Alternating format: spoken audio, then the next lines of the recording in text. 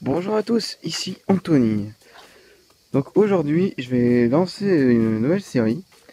Euh, ce sera des vlogs. En fait, euh, ça me permettra de mettre plus de vidéos sur la chaîne.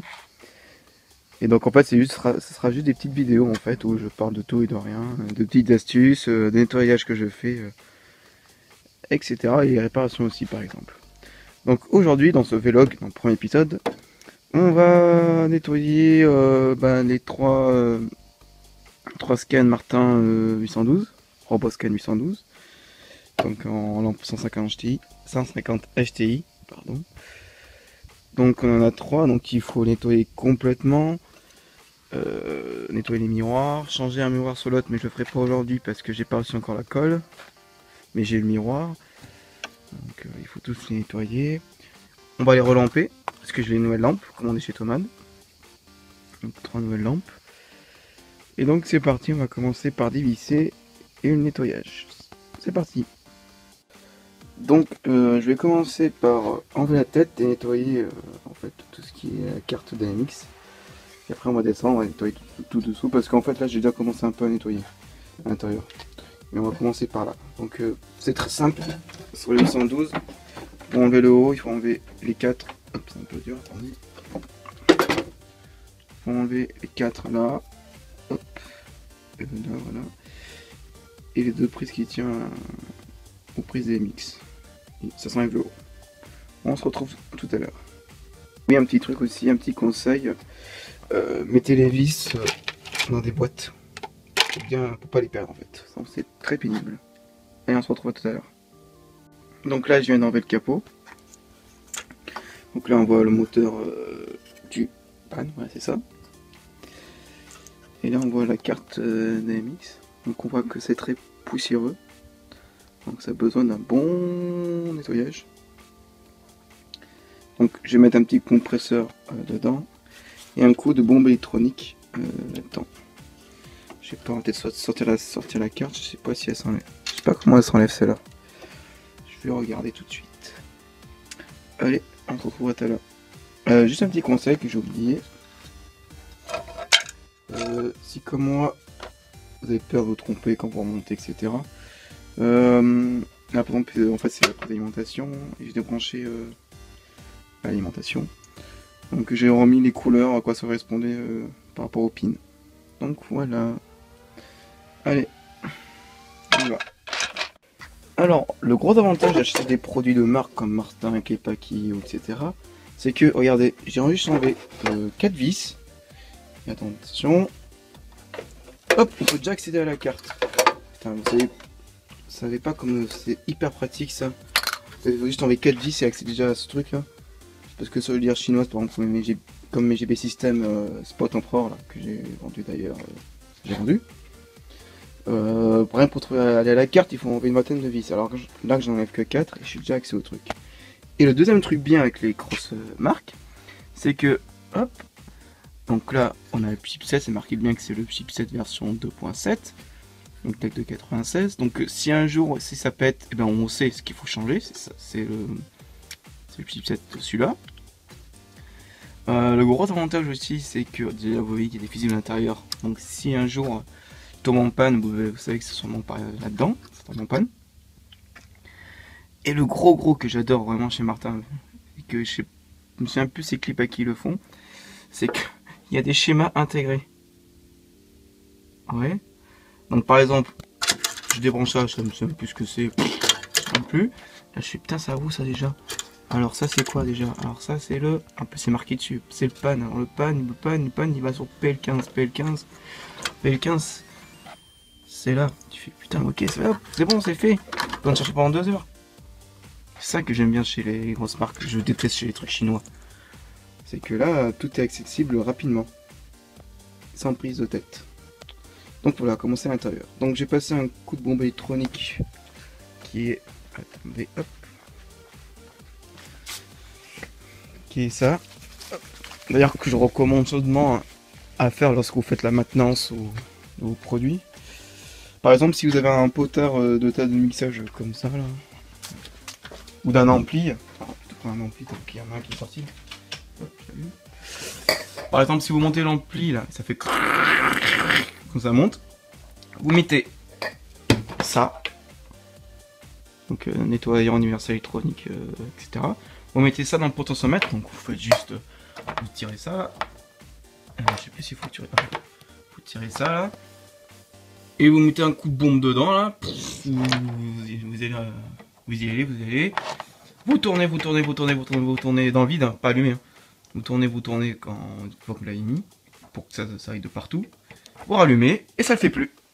Et ça vous faites sur n'importe quoi, je le fais partout, même sur les JB, sur les potards, j'en fais beaucoup aussi sur les amplis de guitare que mes amis ils ont, car ça leur fait beaucoup sur eux, et franchement ça, révolutionne la vie. Donc, on va passer un coup de nettoyage, un petit coup de bombe dedans. C'est parti.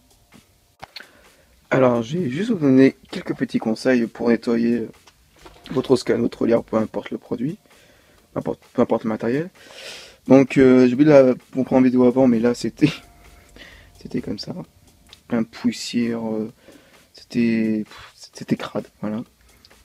Et au bout de deux chiffons, hop, c'est nickel.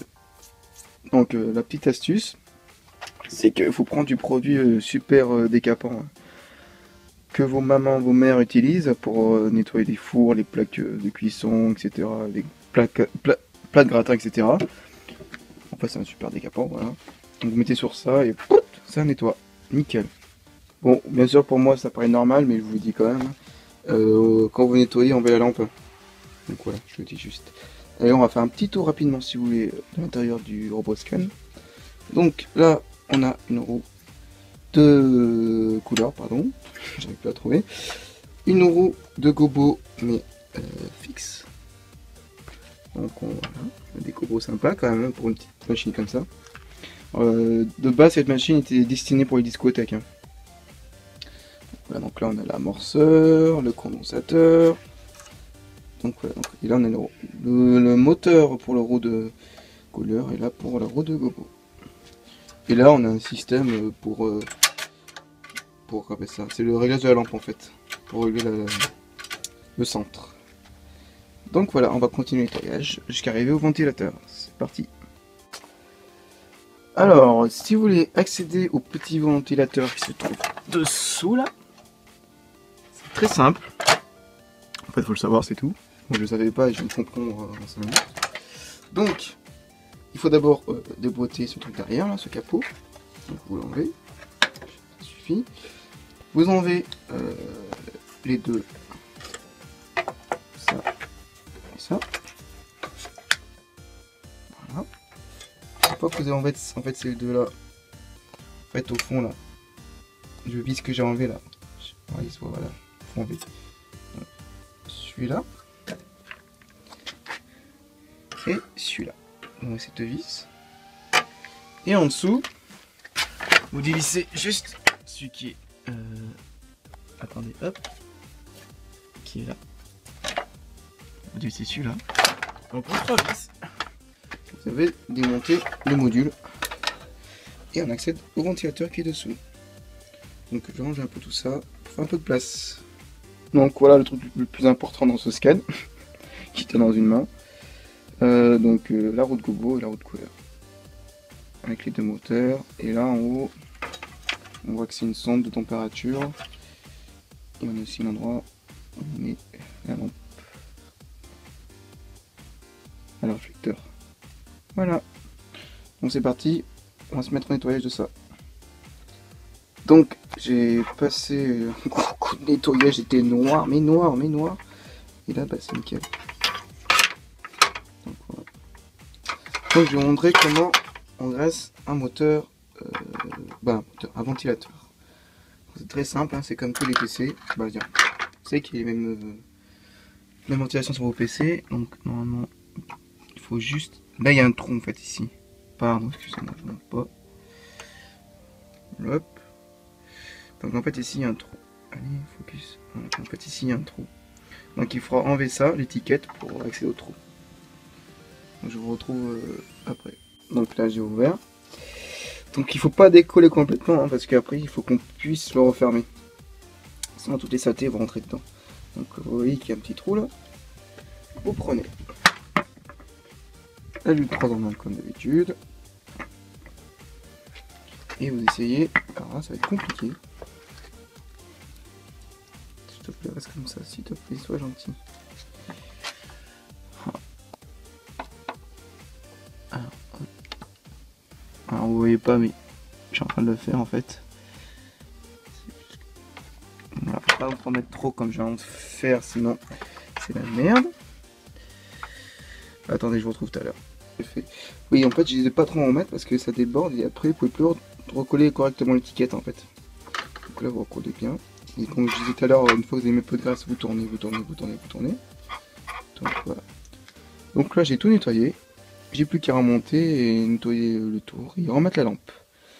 On se retrouve à tout à l'heure. À tout à l'heure. J'ai enlevé le cache qui est devant là, donc euh,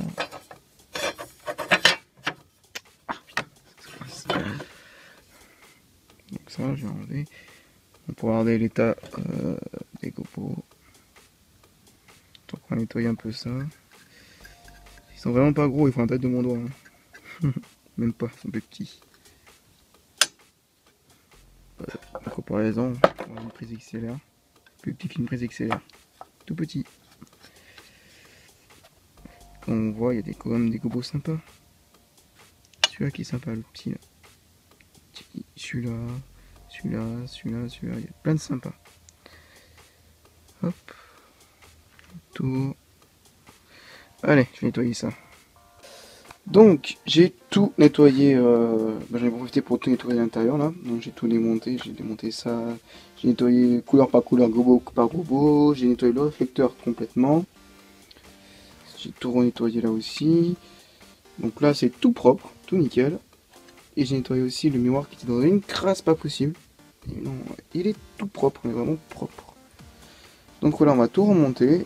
Et on va faire les tests lumière, voir si ça bombarde. Alors je rappelle que c'est du 150 HTI. Hein. Euh, ça éclaire, euh, ça éclaire, mais euh... bah bon, on va bien, vous allez bien voir. Je vous laisse. Donc euh, celui de gauche, il est tout propre et la lampe est neuve, et celui de droite, eh ben, il est crade et la lampe est complètement euh, usée. On se voit tout de suite la différence. Voilà. Celui de gauche, bah, celui-là c'est l'usé, celui-là c'est celui qui est tout propre. Donc voilà, donc on voit vraiment la différence, même les couleurs. Ah, attendez. Le bleu, Franchement, c'est pas mal. Bon, après, même si le propre au sale, les noirs vont à la même vitesse. Ah non, ils vont peu plus rapidement.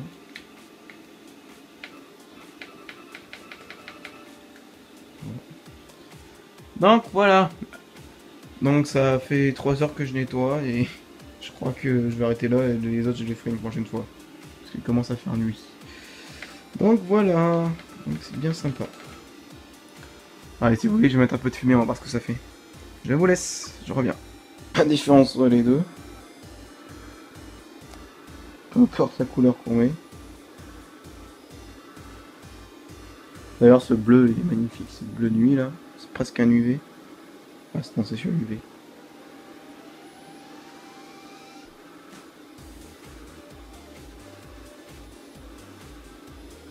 Je pourrais enfin mettre faire une vidéo test.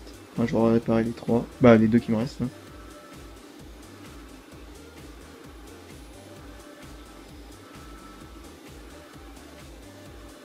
Donc voilà Un truc bien sympatoche. Attention, on peut les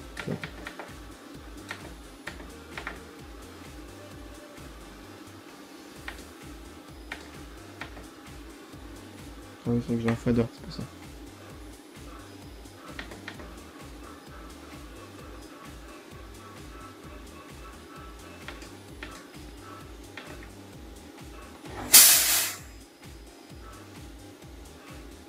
Faisceau ça va, il est sympa, mais sans plus.